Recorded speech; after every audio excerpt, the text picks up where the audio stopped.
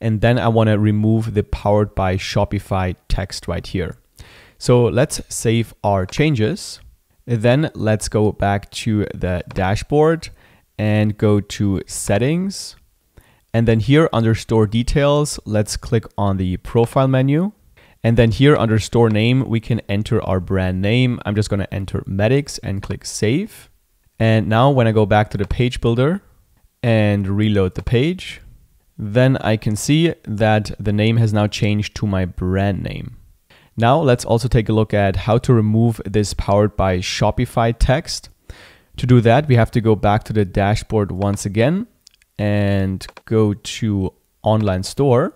Here we want to click on the three dots next to our theme and click on edit default theme content.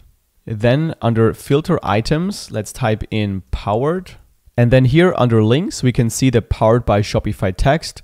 So to remove it on our store, we have to just click into this field and then add a space.